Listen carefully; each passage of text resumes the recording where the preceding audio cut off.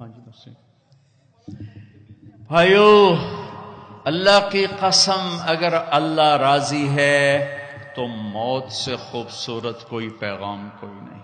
اگر اللہ راضی ہے تو موت سے خوبصورت کوئی پیغام کوئی نہیں۔ اور اگر اللہ ناراض ہے تو موت سے خوفناک کوئی پیغام کوئی نہیں ہے۔ اور اللہ کو راضی کرنے کے لیے بادشاہ کو فقیر نہیں بننا پڑتا۔ فقیر کو بادشاہ نہیں بننا پڑتا۔ بس کی محمد سے وفاتوں نے تو ہم تیرے ہیں۔ یہ جہاں چیز ہے، کیا لوح قلم تیرے ہیں؟ تین بر اعظم کی حکومت ہے، عمر بن عبد العزیز کے عمر بن عبد العزیز تین بر اعظم پر حکمران۔ یہ کراچی بھی ان کی حکومت کا حصہ ہے اور ان کے انتقال کا وقت آتا ہے۔ تو رجا بن حیوہ کو بلا کر فرماتے ہیں کہ رجا، میں نے تین خلفاء کو قبر میں ڈالا۔ ان کے کفن کی گرا کو کھول کے دیکھا تو ان کا چہرہ قبلے سے ہٹ چکا تھا اور رنگ کالا پڑ چکا تھا۔ کون؟ عبد الملک ابن مرمان سگا چچا۔ ولید بن عبد الملک چچا زاد بھائی اور عبد الملک کا بیٹا۔ سلیمان بن عبد الملک عبد الملک کا بیٹا اور چچا زاد بھائی۔ سلیمان کی ڈیڈ باڈی جب قبر کے قریب کی گئی تو ہلنے لگا، اس ایسے سے ہلنے لگا۔ تو اس کے بچوں نے کہا، ان کے بچوں نے کہا، ہمارے باپ زندہ ہیں، موت نہیں تھی، سکتا تھا۔ تو عمر بن عبد العزیز نے فرمایا، بھتیجو، زندگی نہیں ہے۔ بل عجل اللہ بالعقوبہ۔ عذاب قبر جلدی شروع ہو گیا۔ جلدی اپنے باپ کو چھپاؤ، جلدی اپنے باپ کو چھپاؤ۔ تینوں کے چہرے قبلے سے ہٹے، رنگ سیاہ۔ یہ کیا کرتے تھے؟ زانی، اللہ کی قسم زانی نہیں تھے۔ شرابی، اللہ کی قسم شرابی نہیں تھے میں تیرہ سو سال کے بعد قسم اٹھا رہا ہوں۔ شرابی نہیں تھے، زانی نہیں تھے، بے نماز نہیں تھے، روزہ نہیں چھوڑتے تھے، حج نہیں چھوڑتے تھے۔ ولید بن عبد الملک روزانہ تحجد میں دس سپارے کھڑے ہو کر نماز میں پڑھتا، تلاوت کرتا۔ دس سپارے آج بڑے سے بڑا عبادت گزار نہیں کرتا ہے۔ وہ نماز میں تحجد کی نماز میں دس پارے پڑھتا تھا اور چہرہ قبلے سے ہٹ کے سیاہ ہو چکا تھا۔ ان کا ایک اجتماعی جرم تھا۔ وہ ظلم ظلم ظلم، ظالم تھے ظالم تھے ظالم تھے۔ ظلم، حکم اپنی حکومت بچانے کے لیے خون بہایا۔ عمر بن عبدالعزیز نے عدل قائم کیا۔ کوئی لمبی تحجدیں نہیں پڑھی لمبے روزے نہیں رکھے۔ عدل قائم کیا۔ تو رجا کو بلا کے فرمایا، رجا، میرے جانے کا وقت آ چکا ہے۔ دیکھنا، قبر میں اتر کے میرا اللہ میرے ساتھ کیا کرتا ہے۔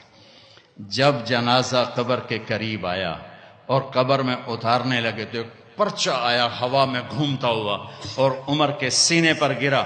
اٹھا کے دیکھا گیا تو لکھا ہوا تھا براءتم من اللہ عمر ابن عبد العزیز من النار اللہ نے عمر بن عبد العزیز کو جہنم سے نجات دے دی۔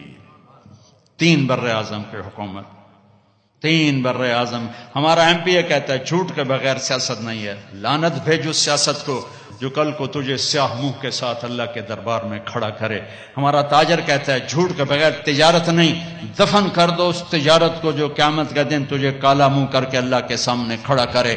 سچ یہ چمکتا سورج ہے۔ اور جھوٹ سیاہ کالی رات ہے، ظلم و ستم سیاہ کالی رات ہے۔ تین خلفاء نے ظلم و ستم سے اقتدار جمایا۔ عمر بن عبد العزیز نے عمر فاروق کی یاد کو زندہ کر دیا۔ اور اللہ نے یہ تحفہ دیا کہ قبر میں جانے سے پہلے پرچہ گر رہا ہے، قبر میں اتارا گیا۔ رجا قبر میں اترے، کفن کو کھولا۔ فرماتے، میں نے کیا دیکھا؟ میں نے یوں دیکھا جیسے چودویں کا چاند قبر میں اتر آیا ہو۔ چہرہ قبلے کی طرف۔ چاند ایسا چمکتا چہرہ۔ حکومت کیسے کی؟ عید کا موقع آیا۔ بارہ بچے تھے۔ ماں سے آ کر کہنے لگے، ماں جی عید قریب ہے۔ ابا سے کہو، کپڑے تو لے کر دیں۔ تین بر اعظم پہ حکومت ہے۔ ماں کون ہے؟ فاطمہ بنت عبد الملک سیاست کی تاریخ میں اس سے بڑی سیاسی عورت کوئی نہیں آئی۔ آج تک تو نہیں آئی۔ کل آئے ہوئے تو مینو پتا کوئی نہیں۔ آج تک کوئی نہیں آئی۔ دادا بادشاہ، باپ بادشاہ، چار بھائی بادشاہ اور خامند بادشاہ، سات نسبتوں سے شہزادی۔ عمر گھر میں تشریف لائے۔ فاطمہ کہنے لگی بچے کپڑے مانگ رہے ہیں۔ عمر کہنے لگے، فاطمہ، میرے پاس تو پیسے نہیں، میں کپڑے کہاں سے لے کر اب دونوں میاں بیوی خاموش بیٹھے ہوئے ہیں۔ فاطمہ کہنے لگی ایک ترکیب میرے ذہن میں آئی ہے۔ کہو کہ اگلے مہینے کی تنخواہ ایڈوانس لے لیں، میں اس سے کپڑے بنا لیتی ہوں۔ اور روٹی کا خرچہ مزدوری کر کے نکال لوں گی۔ ہاں ہاں ہاں یہ ٹھیک یہ ٹھیک۔ باہر نکلے، ان کے خزانچی مزاحم ابھی انہیں کے تربیت یافتہ۔ مزاحم، بھائی، وزیر خزانہ کا جی بھائی، ہمیں اگلے مہینے کی تنخواہ ایڈوانس دے دیں۔ ہم نے بچوں کے کپڑے بنانے ہیں۔ انہوں نے کہا امیر المومنین، ابھی دیتا ہوں۔ بس آپ لکھ کے دے دیں کہ آپ ایک مہینہ زندہ رہیں گے۔ پھر میں دے دوں گا۔ اب مجھے لکھ کے دے دیں کہ آپ ایک مہینہ زندہ رہیں گے۔ پھر میں آپ کو تنخواہ دے دوں گا۔ چپ ہو گئے۔ ایک لفظ نے بول کل تیرا بھلا کرے۔ گھر آ کر فرمایا، فاطمہ، بچوں سے کہہ دو کہ تمہارا باپ کپڑے لے کے نہیں دے سکتا۔ جیسی حکومت بنو امیہ نے کی ہے نا اسلام میں، ایسی کسی نے نہیں کہی دھڑلے والی، چاہے ظلم و ستم والی تھی، دھڑلے والی۔ خاندان عید کی نماز کے بعد ملنے آ رہا ہے، شاہی کر و فر میں، اور بچے بھی ملنے آ رہے ہیں سادہ لباس میں۔ تو عمر کہنے لگے، بچوں، آج تمہیں افسوس تو ہوگا کہ ہمارا باپ کپڑے بھی لے کے نہ دے سکا۔ ان کے ایک بیٹے تھے عبد الملک یہ باپ سے بھی دو قدم آگے تھے۔ کہنے لگے، ابا جان، آج ہمارا سر بلند ہے کہ ہمارے باپ نے خیانت نہیں کی۔ خیانت نہیں کی۔ اس کا سلا کیا ملا کہ جیسے چودویں کا چاند قبر میں اتر آیا ہو۔ سوا دو سال میں کسی بھیڑیے نے بکری پہ حملہ نہیں کیا۔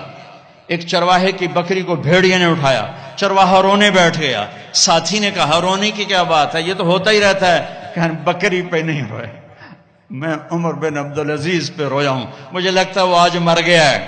کبو کیسے، کہ جب سے خلیفہ بنا ہے، کسی بھیڑیے نے میری بکری پہ ہاتھ نہیں ڈالا۔ آج جو یہ بھیڑیا آیا ہے تو مجھے لگتا ہے عمر چلا گیا۔ وہی دن تھا جب عمر بن عبدالعزیز دنیا سے تشریف لے گئے تھے۔ بھائیو وہ تو تین بر اعظم کی حکومت کر کے کہاں بڑے مقام لے گئے۔ ہم تو یہ چھوٹے چھوٹے افسر کھڑے ہیں۔